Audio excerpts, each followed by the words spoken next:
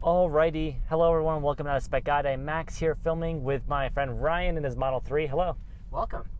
So Ryan, your Tesla Model 3 is an interesting car, not just because it's one of the cheapest new electric cars you can buy, but because in my view, it kind of uh, synthesizes a lot of Tesla's advantages for customers. And we're not making this video as like a, oh, you need to buy a Tesla. The only electric car you should buy should be a Tesla. Like I will just say candidly, I don't have a Tesla deliberately. I have a Polestar 2. I'm all in support of a diverse, competitive car market. Nonetheless, Tesla has some real advantages, real life, practical advantages today we should talk about. So basically, not full self driving. We're not getting into promised future features. We just want to talk about what buyers should be looking for now, features that I know, like Ryan, you have, I'm sure, come to depend on and enjoy that are kind of crazy in a car for this price. Absolutely, I 100% agree. There's a ton of information, a lot of noise out there, both good and bad about what what Teslas can and can't do and what the competition can and can't do.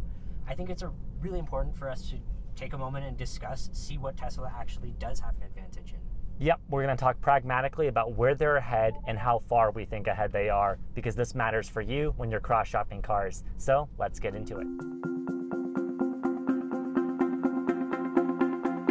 So Ryan, the first thing I think with Tesla that we should bring up, the buyer might experience is well, let's just frankly say it, the buying experience. Buying a Tesla is uh, an interesting experience. Can you describe it? Absolutely. It's unlike buying a lot of other vehicles. There's no dealership that you go to, you don't haggle. There's not even a lot of options that you have to spec. You just go onto the website, basically pick the color that you like, pick the interior you like, and select whether you whether or not you want the enhanced autopilot, the other options like that. That's it. Uh, it's all online. It's all done through the app. I, I texted some people through the app, and that was basically all the communication I had to do up until the, the day that I took delivery of the vehicle. So you're telling me there was no, like, let me check with my manager. Okay, we can get you down on the is interest rate over 144 months. None of that. None of that. Interest rate was set, the price was set. Uh, it, it was very, very easy really simple and straightforward for me. Yes. So the argument for dealers has been okay, well, you can haggle on the price, you, you have a middleman, it stops automakers from consolidating too much power. I get those arguments, but frankly, Ryan, I agree with you. The buying experience of Tesla makes it seem so easy. I bought my Polestar, also the direct to consumer, and it was so nice. The other week, I went in with my girlfriend, uh, Gosha, to go to a Hyundai dealer where we looked at a Kona EV. Terrible. I mean, maybe just that particular dealer, we're not even going to say their name, wasn't particularly nice, but so many car dealers are like that. Um, they just really, it's an anti consumer, in my view, business model that requires you to be like a master negotiator to bargain for the price of your car to not get screwed over. I don't love that. I love how simple Tesla makes it. And other manufacturers here, I think, are catching up, but I don't know if none are quite where Tesla is. So Polestar, I bought my Polestar. It was um, pretty pretty easy. They do direct to consumer. However, Polestar spaces are co-owned by Volvo dealers because Polestar and Volvo have sort of corporate. Uh, you know, relationships, they're both owned by Geely, the Chinese auto conglomerate, so it's a little bit more complicated. They're basically trying to compete with Tesla, but also still keep their dealer model, have it both ways by splitting those brands up. It's an interesting strategy. On the high end of things, Lucid Motors has the Lucid Air, great car, nonetheless super expensive. I don't think it'll be relevant for that many buyers watching this video. However, should mention they are direct to consumer on their website. Rivian, also direct to consumer, I think more relevant for more people watching because they make cars uh, or I should say trucks and SUVs, people care about. The question is their volume right now, it's nowhere near Tesla. So it seems like in terms of scale, Tesla really has monopolized this new take on the buying experience. And for that, I think I have to applaud them. Absolutely. Other manufacturers as well have, have said that they will start doing it. I know Ford and, and GM both have talked about uh, direct con- to consumer sales, especially for EVs. But currently, right now, you do have to go into a dealership. And at this moment, right now, Tesla does have that advantage. Yep. The second thing we have to talk about is uh, just technology and as it applies to software and features because these Teslas, right, a lot of their definition is not just the car parts of it. It's actually the way they integrate technology, features, software, stuff like if you've seen uh, other out of spec channels, out of spec Dave, he just showcased dog mode the other day in his Model 3. You have that too. A lot of these features become standard. So you can, for instance, leave pets in the car, have the AC on because it's an electric car. It can run the high voltage systems with very little draw, uh, and you know keep your pets comfy and cool and safe or it can use Sentry mode, basically built-in dash cams, cameras in the car and outside of it that you can live tune into on the app. All of this uh, so far at least, is free. Connectivity built in. It's a super smart car, and it seems like it gives you just a lot of really nice features. Absolutely. There's a ton of stuff included. Like you mentioned, the dog mode. Uh, there's camp mode as well, which is similar, but if you're going camping. There's the Sentry mode, all the dash cams and all that and you're just making a turn here and it's like it has got the cool camera thing. Yes. the only other brands that do that i know are hyundai motor group and lucid but it's super nice you know nice really blind spot detection that way. Yeah i'm holding on to a heated steering wheel. There's a lot of these standard heated yeah, steering wheel. all of this stuff is standard. I didn't have to option it didn't have to pay for a package or go into you know that trim level to get this piece. So that was one thing that i really loved. I got pretty much everything that i wanted and needed and it's all there. I didn't have to jump up to the next trim level Yep. And when it comes to these technology software features, I'll just speak from my experience with the Polestar. I do think certain automakers leveraging Google and Android Automotive are catching up with Tesla in key ways. In my car now, I can use a web browser. Software is really cool. Theoretically, it's over the air, updatable. They do actually seem to be doing a decent job of rolling out regular updates. Um, so those are interesting. I don't know if they're quite as optimized as Tesla because, from a back end perspective, every day of a Tesla engineer's life seems to be what parts can I remove of this car? What can I optimize? How can I consolidate more modules? And for us non nerds, for us buyers, what that means is a car that is frankly just getting better over time, that is simple for Tesla to service, and that is really scalable. And that's admirable. They've really optimized it. And I think um, GM, I know, is going to use Android Automotive I think Honda is starting to use it, Ford will use it. So these Google systems will leverage uh, a smart voice assistant, apps, features, platforms, ways. You know, a lot of drivers love to use that for maps. I think these cars are going to improve a lot in those areas, but I don't quite think any of them have caught up in terms of just all the lovely user facing features Teslas have. There's a lot of junk too. Like, I don't like that your car, Ryan. I don't know how big of a di- issue this is for you, but I love the option of CarPlay, and it bums me out that GM's going to remove it. I don't like that Tesla's never had it. I get their argument that they prefer to integrate it, but I would like CarPlay in here. I think it'd be nice. Yeah, I think it would be really great to have the option. Being uh, totally frank, I think this system is good enough that I, I don't always feel like I wish I had it, but it would be way better to have that option at the very least. Mm-hmm. I think you're bringing up a good point. A lot of manufacturers do have really, really great systems, and they're pretty close to uh, as smooth, as integrated, just everything working to, together nicely. Yep. It's just not quite 100% there. I think Tesla does still have just the slightest advantage in that sense in just integrating everything yes. everything seamless. The slightest advantage over some manufacturers, like with my Polestar, I theoretically have a remote key app. It works. I can unlock, lock the car, start conditioning. It's not quite as advanced or, in my experience, as reliable as Tesla's system, but it's close. And hey, it's free with the car, comes with the connectivity. Great. Other brands, legacy automakers, let's just say Hyundai, Chevy, tend to charge you a subscription to use, in my opinion, those very basic features. Something I don't love. Yeah, it's it's pretty interesting. There are some subscription features with Tesla. Uh, you can get like the premium subscription, and there are a few things. The main advantage is you get live traffic updates. Mm-hmm. Uh, so that's that's something. But yeah, I think subscription models are something we're seeing across a lot of different. Yeah, I, I can see the comments. I'm never going to buy a car with subscription, blah, blah, blah. I'm sorry to face it to you, but the financials are such that every tech and car company is going to want subscription revenue. And right now, I feel much more comfortable with Tesla offering good for the money subscription services than I do with car companies that, let's be frank, do a terrible job making software. Uh, Tesla being a Silicon Valley, you know, California-based company, it shows in the technology and features of the car. They still seem to, in my opinion, be clearly ahead in that department.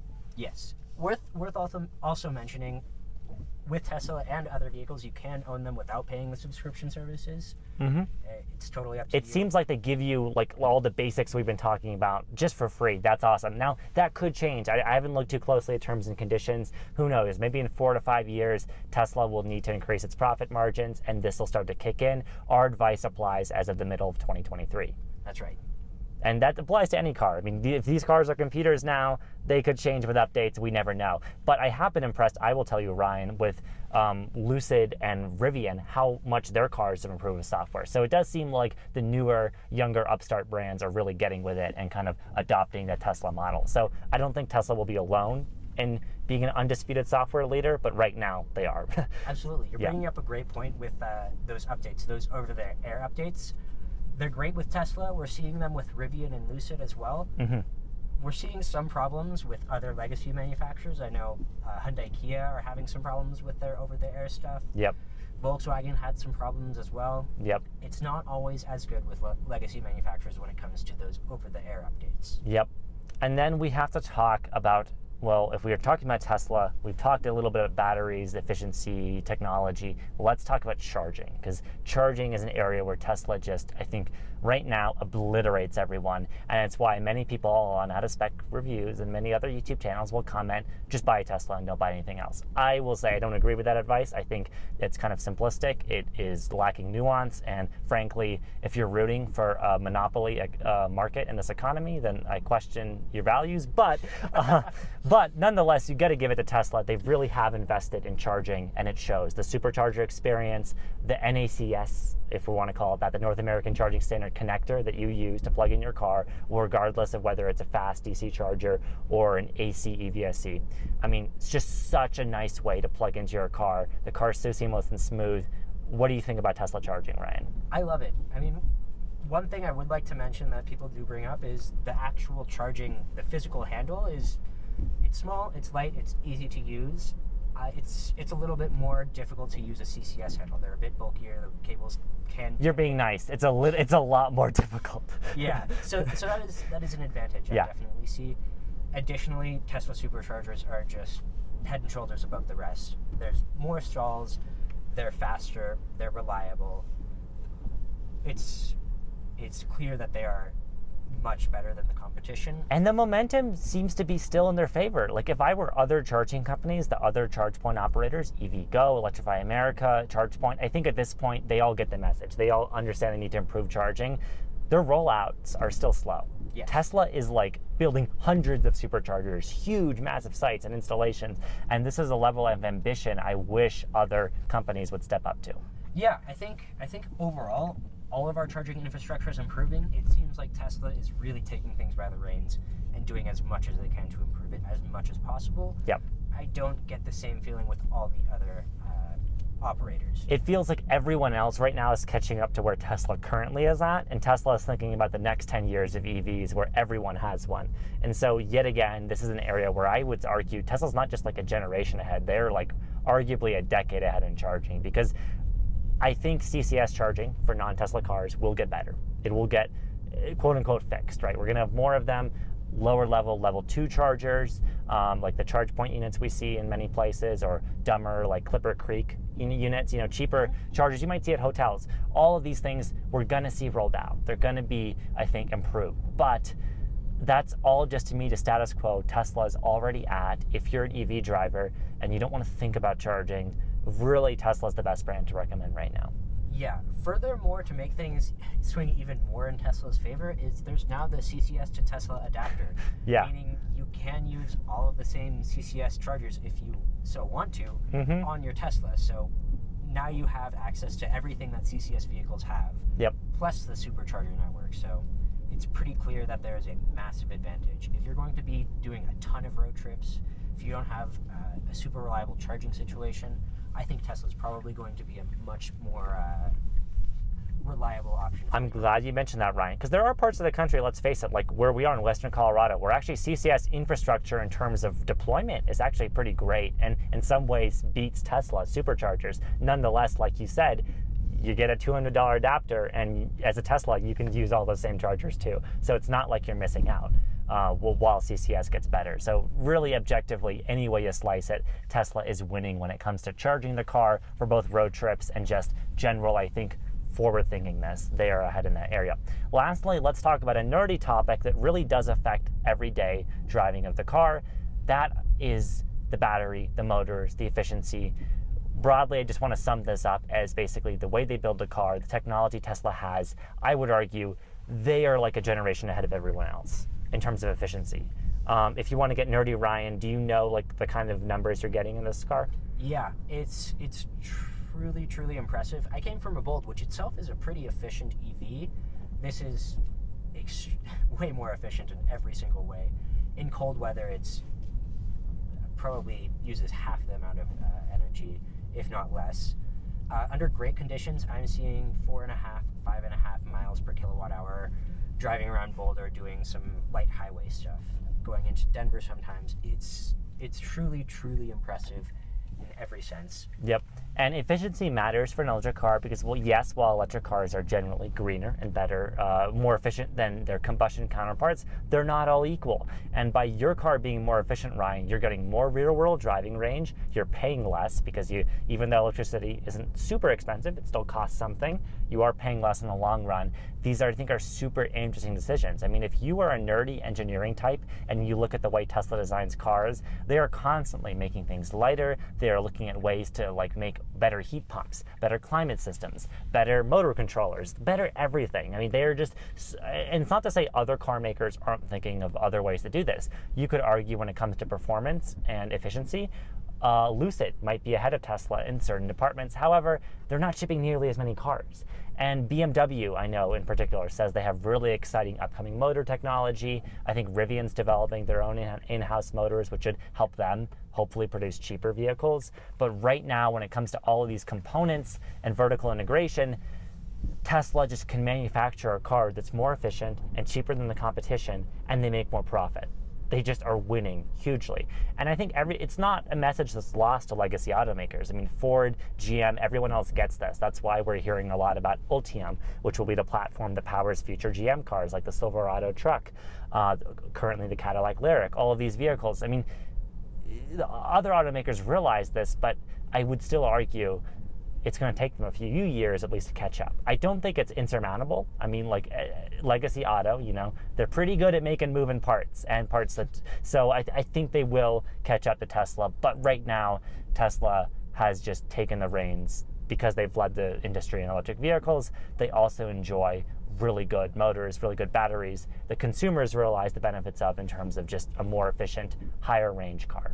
Absolutely, I 100% agree. There's so much really exciting stuff coming up from all these manufacturers, legacy, startups, all this stuff that will help uh, bring things uh, more to a level playing field. And I, I don't want to sound like a Tesla fanboy, but I think the reality is at this point in the middle of 2023, Tesla does have real significant advantages over a lot of other manufacturers, and it's worth acknowledging them and discussing them.